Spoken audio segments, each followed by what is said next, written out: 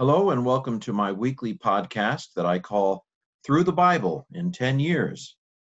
Today we're going to start Second Thessalonians. So we have been in First Thessalonians, and we did the first, we did the five chapters of First Thessalonians, and I've decided to go straight into uh, Second Thessalonians. Now let's go ahead and, and begin. I've probably going to do introductory discussions of Second Thessalonians after I'm done with Second Thessalonians. This is one of the great things I learned at Asbury Seminary, inductive Bible study. I truly believe that I was taught a way to bracket out my assumptions about a particular text and to listen to the text and to let the text tell me what it's saying rather than to bring all of my baggage. And again, baggage is not necessarily bad, and it's impossible for me not to bring baggage to the text. By that I mean my assumptions, my presuppositions. We can never become entirely free of our assumptions. But inductive Bible study uh, taught me to truly listen, try to listen on a next on the next level uh, to the text. And so um, it actually, I think, especially with Second Thessalonians, will be helpful to go through the text these next three weeks, and then after we've gone through these texts, to gather our um, instincts and intuitions about about the situation. Now, you might, on the first hand, you might say, well, what what's the big deal, Ken? Because Second Thessalonians comes after First Thessalonians, and it's written by the same people to the same audience assume we should therefore assume it was written about the same time from the same place and so the situation is surely pretty much the same as first thessalonians. Well that may very well be the case. It may. Although there are a few things about second thessalonians that have that have nagged at me over the years. I've always found second thessalonians very puzzling uh, for a number of different reasons. And you, you, if you've if you've paid attention to me long for very long, you know that I think that there are a lot of kind of pat answers and glib kind of assumptions that if you're in an echo chamber, it's easy to get away with because everybody's saying the same thing. But there are some things about Second Thessalonians that have nagged at me over the years, and um, I I don't know whether I I don't know how far I want to go with some of my thoughts. Um, I, I, have a tendency to tell everything I'm thinking, um, but um, you know, and I'm not, uh, you know, nobody's going to ask me to write a Second Thessalonians commentary, um, but uh, I do want to look at Second Thessalonians with a fine tooth comb, because uh, I've been formulating a hypothesis now for years, frankly, for years, about Second Thessalonians, and I want to I want to look at it a little bit. Um, we'll see what happens. So let's go ahead and launch into First, Second Thessalonians. I should mention I should mention that the order of the books in Paul in the Pauline letters, the order of the books, Romans, First, Second Corinthians, Galatians, Ephesians, the order is largely by length. The books are not arranged in the order in which they were written, not at all. Romans was definitely not the first letter that Paul wrote. I think First Thessalonians was the first letter in the New Testament that Paul wrote. Um, and um, others would say Galatians, but nobody would say that Romans was the first letter uh, that Paul wrote. And so when we get to First and Second Thessalonians, we have to face the possibility that Second Thessalonians was written first, and that First Thessalonians was written second, because their arrangement is at least in part based on the fact that First Thessalonians is longer than Second Thessalonians. First Thessalonians has five chapters. Second Thessalonians only has three. Now, most scholars, and I think rightly, have concluded that actually this this is a fortuitous to us that Second Thessalonians is actually second and First Thessalonians is actually first. But any treatment of First and Second Thessalonians needs to at least acknowledge the possibility that the order could be reversed. And there have been those who've argued that Second Thessalonians was actually first. Well, now I'm going to really begin. So I'm looking at interlinearbible.com or biblehub.com backslash interlinear if you're looking at the video. If you're listening to the podcast, you don't have to pay any attention to what I'm looking at. And I've got a lovely uh, uh, picture in the back that is inspired by Ezekiel and appeared in the movie Knowing. Um, anyway, it's not, you can't fully see it. Yeah. So I'm not violating copyright, right? Anyway, um, so let's go ahead and begin with verse one. Paul and Silas and Timothy to the church of the Thessalonians in God, the, the, God our Father and the Lord Jesus Christ. Verse 2 Grace to you and peace from God the Father and the Lord Jesus Christ. Fairly standard, uh, very standard introduction. Very similar to the introduction in First Thessalonians. And uh, on the one hand, that, in, that initially doesn't surprise us. But uh, as we get into the rest of, of chapter one, um, the similarity is noticeable and, and somewhat striking. I'll come back to that in a second. But uh, if we take verses one and two at face value, Paul, Silas, and Timothy are the same authors as in First Thessalonians. Thessalonians are the same audience. And so our initial impression is certainly uh, that Paul would have written Second Thessalonians from Corinth to Thessalonica on his second missionary journey somewhere around the years 50 and 51 AD, not too long after he wrote First Thessalonians. And so we can create a scenario something like this. So Paul and Silas and Timothy founded the church at Thessalonica, but they had to leave rather quickly. When they get to Athens, uh, Paul and Silas send Timothy back to find out how their faith is doing. They go on to Corinth. While they're at Corinth, Timothy returns, and guess what? Their faith is doing great. Then Paul sends writes First Thessalonians and sends it back to the Thessalonian church. You'll remember that the reason for First, First Thessalonians primarily deals with end times questions. So some of them didn't realize that the resurrection was a thing. They expected the second coming, but they didn't know what would happen to the dead before that happened. Paul writes back. He says, Don't worry, the dead will be part of it. Um, of course, Christ will come as a thief in the night, um, but there'll be there'll be birth pains. But but then we don't know the the exact time of his return. We just need to be ready. And by the way, don't be lazy. And so Paul sends First Thessalonians back to them with Timothy, perhaps. Now, what may have happened then is that Timothy stays a while, and some new problems emerge. Maybe maybe they say, "Oh, we thought the Lord was coming back uh, right away. Has He already come back? Is our current persecution actually part of of those birth pains?" And so Timothy comes back to Paul, and Paul writes Second Thessalonians back, saying, "Well, okay, um, the day of the Lord hasn't happened yet. If anybody tells you that, they're cray cray. Um, uh, there'll be there'll be some signs that haven't happened yet of what will happen before the Lord comes back. And so Paul writes Thessalonians uh, back to them. So that's that's probably the standard uh, scenario for uh, thinking about the the history of Second Thessalonians. And for now, let's let's go ahead and leave it at that, and we will we will move on. Okay, verse three. We ought to give thanks always concerning you, brothers and sisters, just as it is uh, worthy or fitting, uh, because your faith is superabounding, uh, and the love of each one of all you is abounding, is multiplying toward one another. Now, this sounds a little bit again like First Thessalonians. Little different wording, a few different words, but the same basic uh, Thanksgiving section. This shouldn't bother us because Thanksgiving sections did have, an, uh, I think, some commonality in Paul. Um, usually he mentions he's praying for them and things like that. So um, again, very similar to First Thessalonians, but not not anything too surprising yet, perhaps. Okay, so he thinks he he he's excited. He thanks God always uh, because they have faith, they have love toward one another. Verse 14, I mean, verse 4, with the result that we ourselves boast in you in the assemblies of God, in the churches of God. Of course, house churches is what is probably in view here. Um, the Assemblies of God church takes its name from the word church, which means assembly, among the churches of God, among the assemblies of God, the little house churches where people are gathering. And what does Paul boast about them?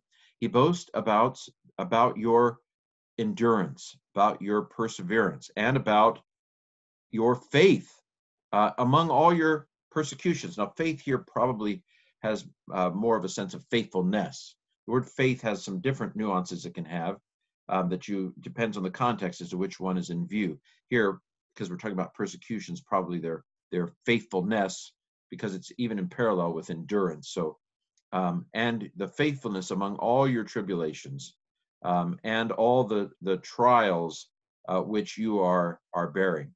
So, it seems that um, the situation of the Thessalonians is more intense uh, than it was even maybe when First Thessalonians was written. Um, they are they are demonstrating some hardcore endurance. Now, um, this leads us, of course, to wonder, you know, what what is what is changing uh, in the Thessalonian circumstance that it's gotten worse. Of course, we have no way of knowing um, uh, what because we're not told what their tribulations exactly exactly are. We just get the impression that things have gotten worse for them. Okay, so verse 5. Um, this is, we have to kind of insert it, it's not there in the Greek. This is a demonstration of the righteous judgment of God, uh, with the result that you might be counted worthy of the kingdom of God on behalf of which you are suffering. So again, this this uh, cuts into a little bit of Protestant theology uh, or Protestant sensibilities, but there's a sense in which they're their their enduring persecution makes them worthy. Again, Martin Luther wouldn't like this this sentiment. Uh, I, I, I haven't read his commentaries, um, so I don't know what he does with this particular passage. But um, there's a tendency among, say, Luther to say, well, you're never going to be worthy. It's all about Jesus. God only looks at Jesus. You're a dirty, rotten scoundrel before and after you come to Christ. That's not Paul's theology. Paul believes that we need to be counted worthy of the kingdom of God. This is Paul. This is Paul's theology. Um, again, this dichotomy between faith and works uh, really doesn't exist for Paul after one becomes a Christian. Um, Paul primarily talks about um, uh, faith as as the gateway into Christian faith, but Paul expects a certain way of life a manner of living. Paul definitely, I mean, all over his writings, Paul expects there to be a manner of living after we come to Christ. That's part of Paul's theology, whether Martin Luther likes it or not. He knows better now because he's in heaven. But anyway, um, uh, this is a demonstration of the righteous judgment of God. This again reminds us a little bit of something said in First Thessalonians 1 in a slightly different way about how um, the, the sense we get is that that there's there's a two-sided coin here. On the one hand, the the fact that they are persecuting uh, the, the believers at Thessalonica is justifying the judgment of the persecutors, but it's also justifying the justification of of the believers. Two-sided coin to suffering there. Verse verse six makes this clear. For since indeed um, it is right for God to repay those oppressing you with oppression. and um, to you who are being oppressed, those who are being uh, uh, persecuted, he'll give you rest along with us at the revelation of the Lord Jesus Christ from heaven or from the sky uh, with the angels of his power. Now, uh, Revelation, uh, this is interesting. In First Thessalonians, the word parousia or arrival is used. But here in Second Thessalonians, we have a slightly different word, the revelation of our Lord uh, from heaven with uh, the angels of his power.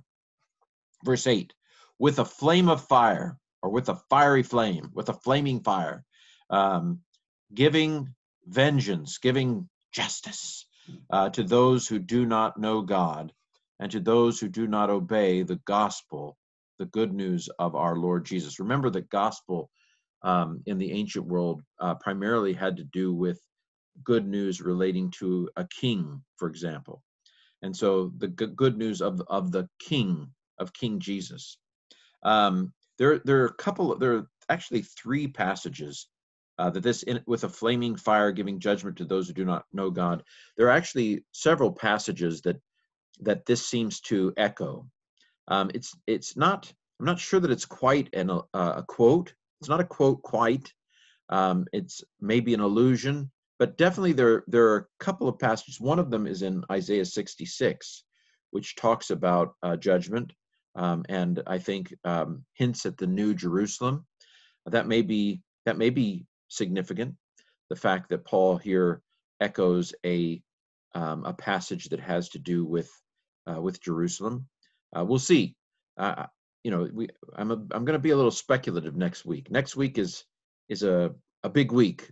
Um, as I speculate speculate a little, I, I, mean, I really don't know whether my speculations are are right or not.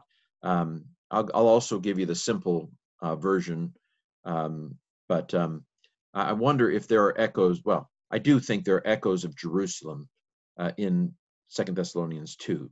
So we'll come back come back to that next week. But so somebody's going to get it. Um, those who are persecuting the Thessalonians are going to get it. Um, verse nine. Uh, again, I wonder if there, if this if if if there's something bigger going on here um, a bigger persecution, perhaps, in, in mind. Verse 9. Um, so these people who are persecuting you and us, um, you, I suppose, if we take it in the most limited sense of the Thessalonians, um, God, uh, these these people, these people who will suffer justice, they'll suffer the penalty of eternal destruction, away from the presence of the Lord and from the glory of His strength. Now, some have some have suggested that that there are Jews in Thessalonica who are persecuting the Thessalonians. I don't I don't see it. I mean, I'll keep that in mind as we keep going through. I'm thinking that that um, secular, non-Jewish persecution is in view here. Um, so we'll we'll track that as we keep going through it. A lot of puzzles with Second Thessalonians. It's a puzzling text, the more you dig into it in my mind. I've come up with some speculations, but um, uh, it is a puzzling text to me in some respects. Verse 10 Whenever he, uh, that is Jesus, will come to be glorified uh, among his holy ones, among his saints. Christians are referred to as holy ones, set apart ones um, uh, in Paul's writings, and to be marveled at uh, by all who believe all who have faith the word believe and faith have faith are the same same concept there. Because uh, you all uh, because our witness our testimony was believed by you on that day. Um, so on that day when he returns uh, we will marvel we who believe will marvel at him. And and the reason why we get to be part of the of the part that are happy when he comes is because we have believed, um, we have believed the witness of the scriptures and of the saints since, but the Thessalonians believed the witness of Paul and Silas and Timothy. Um, verse 11, uh, because of which also we are always praying concerning you. Again, it reminds us of First Thessalonians 1, in order that God, our God, might deem you worthy of of, of a calling, of an election. Again, notice the wording here. This is not worded the way John Calvin would have it worded, uh, because um, if if you're elected in the way that John Calvin says, then then your calling is what makes you worthy, as it were. You're not worthy of the calling; it's the calling that makes you worthy. Um, this is worded in such a way that seems to indicate that our behavior, our actions play a role in whether we get the calling or, or, or whether the calling makes it to the end. And so, as I've said often, talking about predestination in Scripture, uh, in the words of Inigo Montoya, uh, addressed to the Calvin, to John Calvin, you keep on using that word predestination. I don't think it means what you think it means, um, because here calling is something that you need to be worthy of. Um, and that he might fill, uh, fulfill every good pleasure of goodness and every work of faith with power. Okay, again, notice that work of faith. These are not contrary terms for Paul, and also an, a, an allusion or an, an, echo of First Thessalonians here uh, as well. So, what's the point of all this? Verse 12 so that the name of our Lord Jesus might be glorified among you, and you might be glorified, I guess, in him, according to the grace of our God and the Lord Jesus Christ. So, again, uh, First Thessalonians, uh, Second Thessalonians one is fairly short, just like First Thessalonians one was fairly short. Of course, the chapter divisions were were added a thousand, you know, over a thousand years later. But this has been First Thessalonians one. Now, I'm finding it intriguing because of other concerns. By itself, this chapter is not too uh, unusual. I would say it has very close parallels to First Thessalonians 1 and its greetings. Same themes, a lot of the same concepts, also some interestingly different words, some some words that aren't used in very often in Paul's writings. We get the impression that their persecution has intensified. I would say it has more intensity. There is an intensity here, a heaviness that First Thessalonians 1 didn't have. It feels like like things are a little rougher, maybe, uh, than they were uh, in First Thessalonians. And so we'll continue to ponder that heaviness uh, as we move again into uh, First Thessalonians chapter 2 next week. So this has been through the Bible in 10 years, Second Thessalonians chapter 1.